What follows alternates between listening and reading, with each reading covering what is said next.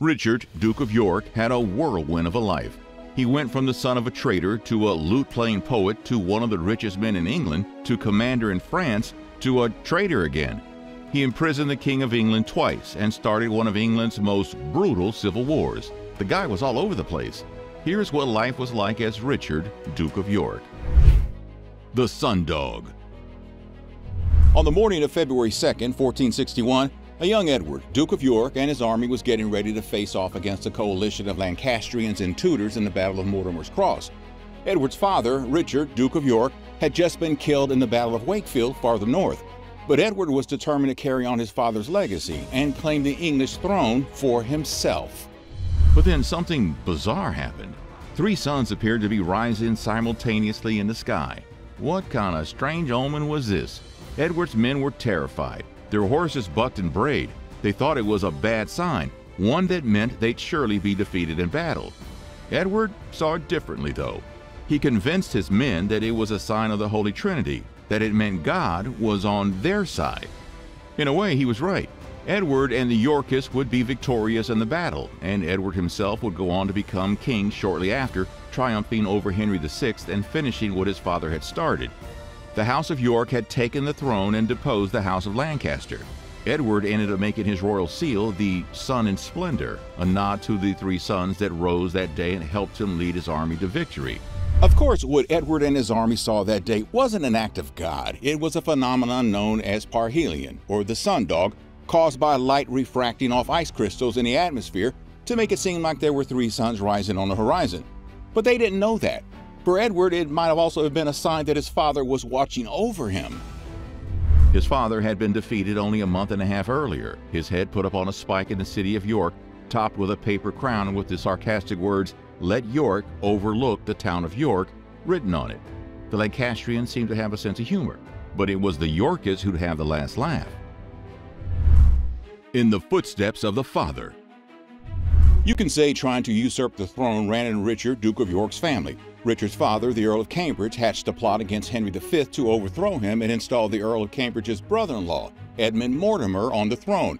The so-called Southampton plot failed, probably in part because Mortimer didn't even know his brother-in-law was plotting to overthrow the king, and then when he did, it was Mortimer who went to the king and told him what Cambridge and his co-conspirators were up to. Uh-oh. The plotters were all arrested, and Richard's father was sent to death in August of 1415.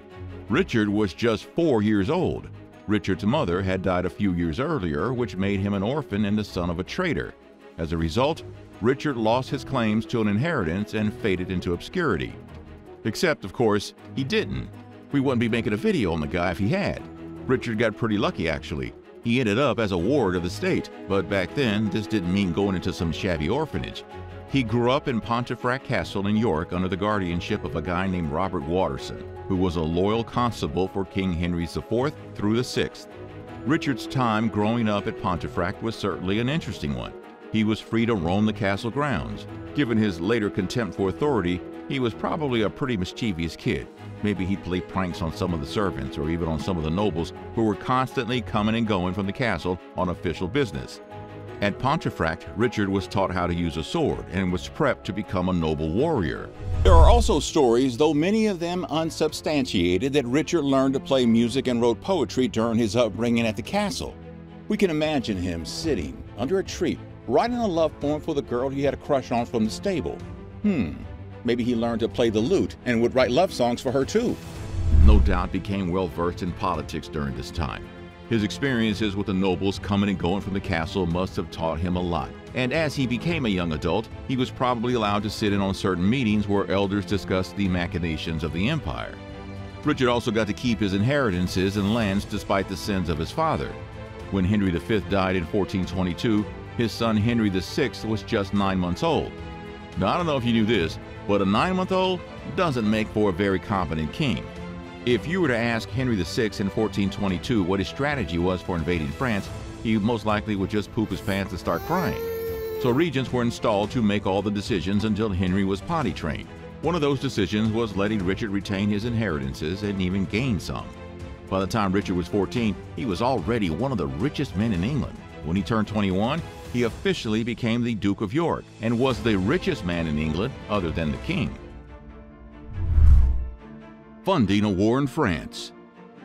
Before the War of the Roses, there was another war, one that had been going on for over a 100 years. The aptly named Hundred Years' War between England and France was in its 99th year when Richard set foot in France as a lieutenant of the English territories that they claimed to have there. Things wouldn't go so well. And what did they call the Hundred Year War back when it was in year 57? They didn't know it was going to be 100 years, so what did they call it? Two years before Richard left for France in 1434, he met with the council in Westminster, particularly the two main guys in charge, the Duke of Bedford and the Duke of Gloucester. Together, they had a brainstorm about how to proceed in France. Henry VI's father, Henry V, had conquered a good deal of the country, including Paris. When his father died in 1422, Henry VI was later crowned King of England and France, the only king in history with both titles. By the time of the meeting in Westminster, though, things were beginning to unravel. The Dukes of Gloucester, Bedford, and York were likely tucked away in a private chamber in Westminster, light streaming through tall Gothic windows as they sat around a table strewn with maps of France. Maybe it was night and there were forests of candles flickering in corners and dripping wax. They were arguing about what their strategy should be. Duking it out, if you will. You see what I did there? Bedford and Gloucester were brothers, and they had a bit of a sibling rivalry going. They couldn't agree on what to do. Their ring clad fingers were pointing aggressively at different parts of the map. There was probably a lot of huffing and mm hmm thrown in and animated arguments. Bedford was more inclined towards a militaristic approach, continuing the aggressive policy of Henry V. Gloucester, on the other hand, thought they should enter into peace negotiations with the French. Now, Richard, at the time, just 23 years old, played the middleman. He was charismatic, and as we said earlier, he may or may not have been a poet and thus good with words. Together, they agreed to try their hand at the military approach, albeit a tempered one.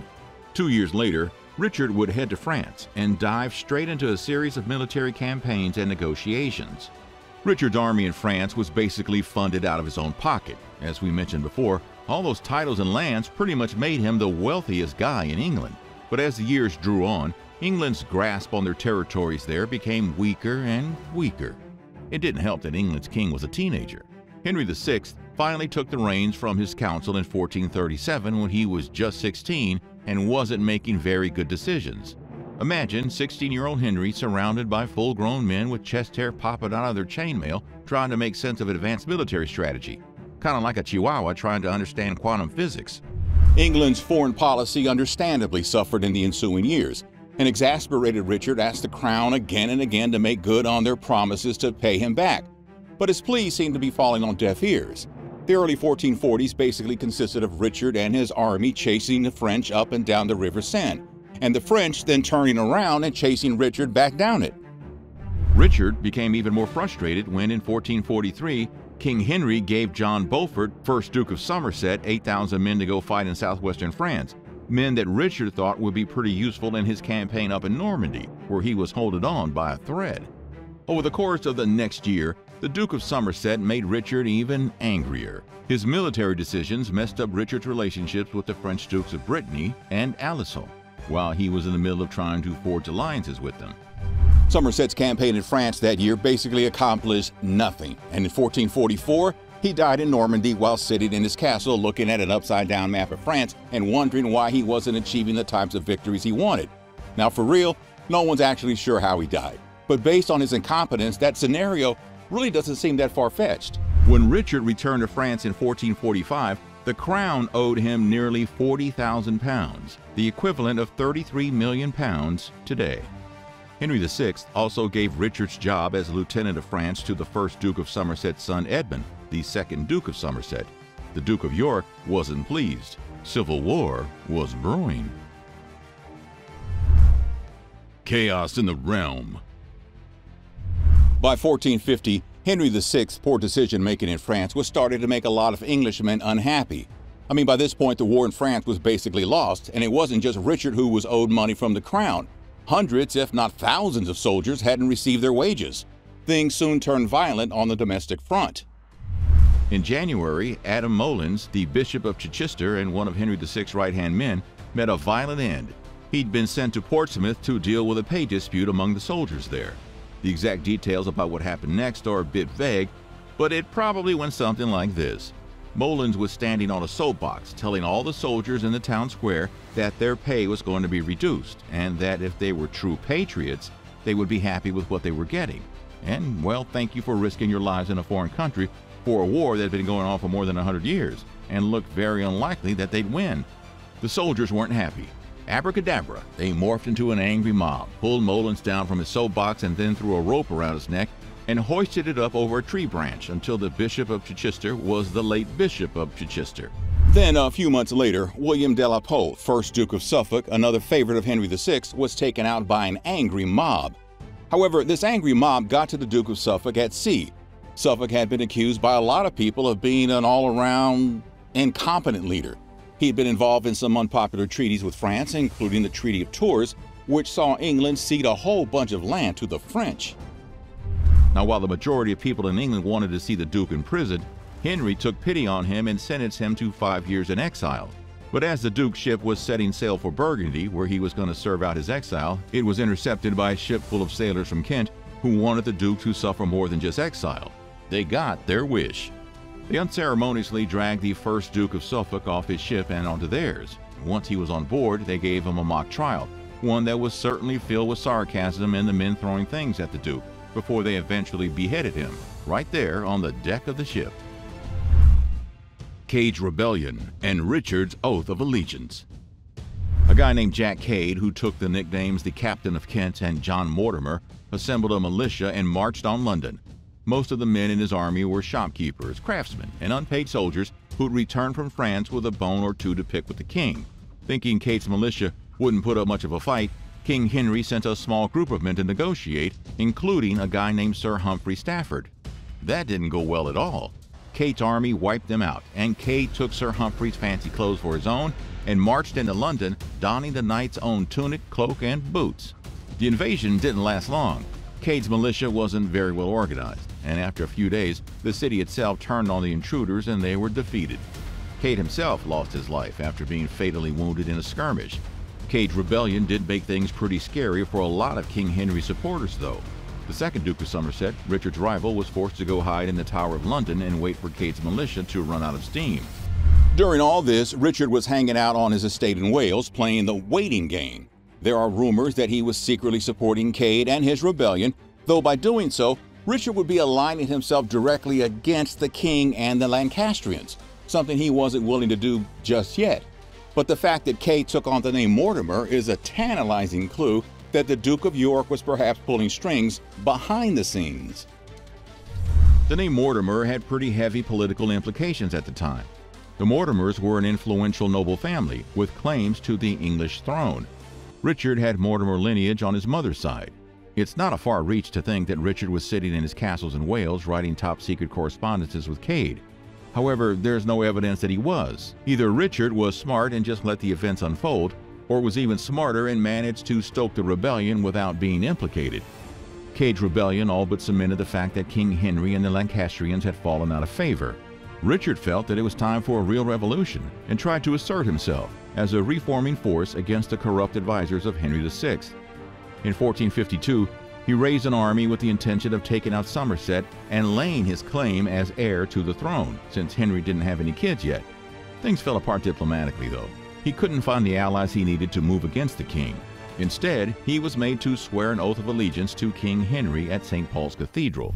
St. Paul's Cathedral in the 1400s was an imposing Gothic edifice, one of the most impressive structures in the world at the time. Its massive interior was filled with soaring columns and magnificent stained glass windows depicting Jesus and saints. The sounds would echo, with every footstep or chanted prayer reverberating through the space. Given the importance of the occasion, the cathedral was likely to be filled with nobles and clergymen. All the important Lancastrians were there, as were a pretty large segment of London's population who were let in to see the event. The Mad King and his Mad Queen. At this point, Henry VI's mental state began to deteriorate. He was never particularly a great king, as we've seen, and now at just 32 years old, he started to really lose it. By August 1453, Henry had gone into a catatonic stupor, a bout of delirium that basically left him in a coma for over a year. Historians think it was caused by schizophrenia, which he may have inherited from his grandfather, Charles VI of France. It was around this time that his wife, Queen Margaret of Anjou, really started wearing the pants in the relationship, and she and Richard didn't get along. Henry's marriage to Margaret nine years earlier had made a lot of English nobles angry, Richard included. Margaret was French, and in return for her hand in marriage, Henry had agreed to hand over the territory of Maine to the French, a significant and to many a humiliating concession. It was seen by many Englishmen as a betrayal, essentially giving away hard won territory for the sake of a marriage. For years, the king and queen were unable to conceive a child. But then in 1453, just before Henry completely lost his marbles, Margaret became pregnant. A lot of people raised their eyebrows to this. I mean, how could Henry have, um, you know, performed given his deteriorating mental health? Some began to suspect that Margaret's child wasn't Henry's, but the Duke of Somerset's, who had cozied up quite close to Margaret in the years since he returned from France. In the middle of Henry's catatonic madness, Margaret gave birth to Edward of Lancaster. Henry now had a direct heir, regardless of whether the child was actually his or not. I mean, they certainly didn't have DNA tests back then. When Henry lost his marbles, Richard was made protector of the realm, but with the birth of Edward, Richard's claim to the throne and his ambitions of making himself heir were greatly diminished. Queen Margaret became a huge thorn in Richard's side. She was smart, she had the ears of many powerful nobles, and she was dead set on making sure her son became the King of England. In January of 1455, Henry surfaced from his delirium. Still bedridden, Margaret entered his bedchamber and showed him his new son and heir. He was delighted and still pretty crazy. Henry apparently mumbled something about how Edward must have been the son of a ghost, an implicit nod to the fact that he wasn't really Henry's son. Or was it just like the ramblings of a mad king? You know, we may never know for sure.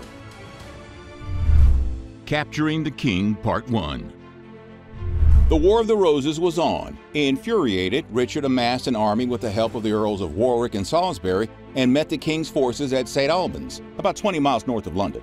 The Yorkists were far more prepared than the Lancastrians and outnumbered the king's army 7,000 to 2,000. The standoff ensued. Each side sent messages to the other, hoping that negotiations could avoid bloodshed. But Richard had become incredibly headstrong. He was entitled to the throne, he thought, so he could basically say whatever he wanted to this mad king, who was probably clueless and still a bit crazy. Richard apparently sent a message over to Henry demanding Somerset's head and the king's immediate surrender.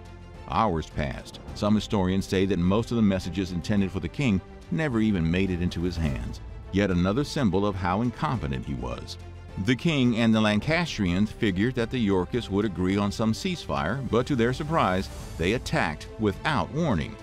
The streets of St. Albans were narrow, and Richard's troops, led by the Earl of Warwick, filed through a series of unguarded back lanes and gardens and out into the main square, where they took Henry's troops by surprise and routed them. A lot of the Lancastrians didn't even have their helmets on. You gotta keep your helmets on. In the ensuing chaos, the Duke of Somerset was forced to flee into an inn. Besieged, he fought his way valiantly out of the inn, stepping over the bodies of fallen Lancastrians, taking out a few Yorkists, before himself finally being cut down. Richard's rival was no more. In the aftermath, Henry VI was captured and ceremoniously carted off to London. Richard needed Henry alive. A dead king would mean that Henry's son Edward would become king. And since he was only two years old, that would mean Margaret of Anjou would become the de facto regent, something Richard really didn't want to happen. Love Day An uneasy peace ensued. The next couple of years were marked by Richard making concessions, Margaret of Anjou throwing dagger eyes at Richard, and Henry basically drooling in his bed on and off. Henry did get up the gumption to declare a Love Day. The king hoped the Yorks and Lancasters could kiss and make up, so they all started taking off their clothes, and then, no, no, no, I'm good. 15th century England wasn't that progressive. Henry's Love Day was a ceremonial procession from Westminster to St. Paul's Cathedral in London to show everyone how happy the warring factions really were. Margaret of Anjou held hands with Richard, other Lancasters held hands with other Yorks, and they all marched down white and red rose strewn streets as doves flew above their heads and a rainbow appeared on the horizon. No, that didn't really happen. Henry's hopes that everyone could kiss and make up were at the end fruitless. Soon after the event, things descended right back into civil war. Capturing the King Part 2 On July 10, 1460, Richard, Warwick, Salisbury, and their army had King Henry VI camp in Northampton surrounded. Henry had set up a defensive position just north of Northampton, near the River Nene, with an army that numbered around 5,000 men. The fortifications were pretty formidable and consisted of a series of trenches and stakes that were designed to keep the Yorkist forces at bay.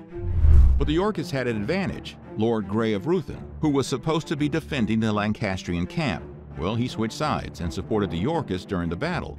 Taking advantage of Grey's betrayal, the Yorkists wormed their way into the Lancastrian camp. The ensuing battle was swift and brutal. Within just 30 minutes, the Yorkists had breached the defenses and overwhelmed the Lancastrian forces. In the aftermath of the battle, King Henry VI was found by Warwick's men, sitting quietly in his tent, apparently unharmed but also quite detached from the events around him. He might have been delusional or yet in another catatonic state, given his history of mental illness. An unresponsive King Henry VI was taken prisoner by the Yorkists and was effectively under the control of Richard and his allies. Richard then made a triumphant return to London. His march into the city was one of power and symbolism. He kept his sword upright before him as he marched into Parliament, a clear message that he was the dominant force in England and that he believed himself to have the right to the throne. Once in Parliament, Richard's actions were even more audacious. He approached the throne and set his hand on it, another bold claim to the crown, especially with Henry VI still alive, albeit a prisoner. When the Archbishop of Canterbury, who was standing near him, asked him whether or not he wanted to go see the king, who was in prison in the Tower of London, Richard reportedly said that, quote, I know of no person in this realm which oweth not to wait on me rather than I of him. Now, if we translate this roundabout medieval phrase, basically he says, I'm so important that everyone should be waiting on me and not the other way around. The reaction from many nobles was pretty negative. While some might have agreed that Henry VI's rule was problematic, they were not necessarily ready to completely overturn the established order in favor of Richard. This act of hubris on Richard's part was a pretty big miscalculation, and it hurt his cause in the short term. Instead of being immediately declared king, as he might have hoped, the Act of Accord was later passed, which made Richard the heir apparent but kept Henry VI on the throne. Margaret of Anjou was hotter than fish grease about this. The Act of Accord essentially disinherited her son Edward, and with her husband held prisoner still drooling, she mobilized an even larger army. The War of the Roses was kicking into high gear, but Richard wouldn't be around much longer to see England devolve into an all out civil war. Richard's downfall came just a few months later at the Battle of Wakefield. He made a fatal miscalculation at Wakefield that resulted in his head displayed on a stake. That's some mistake. But despite his defeat, Richard, Duke of York's legacy would live on through his sons. Edward IV became the king soon after. King Henry VI, his wife Margaret, and their son Edward fled to Scotland. Now, the War of the Roses raged on for another 25 years, and ultimately, neither the Yorkists nor the Lancastrians came out on top. It was the Tudors who took the throne. But you know what? That's for another video. Hey, thanks for watching. What other English nobles do you want to learn about? Let us know in the comments. And don't forget to like and subscribe for more nutty history.